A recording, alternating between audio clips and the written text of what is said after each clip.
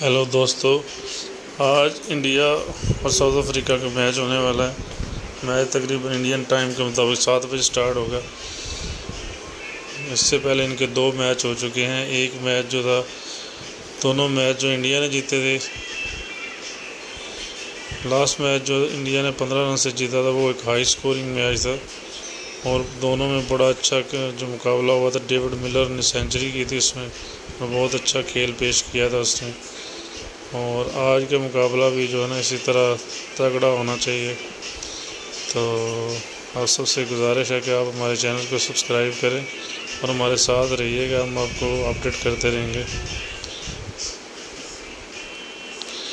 ये आज का ग्राउंड है।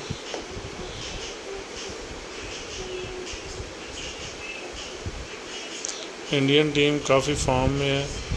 तो लगता है ऐसा ही है कि इंडिया का, इंडियन टीम ये भी मैच आसानी से जीत जाएगी। बाकी देखते हैं, जब मैच ग्राउंड में होगा तो फिर क्या बनता है।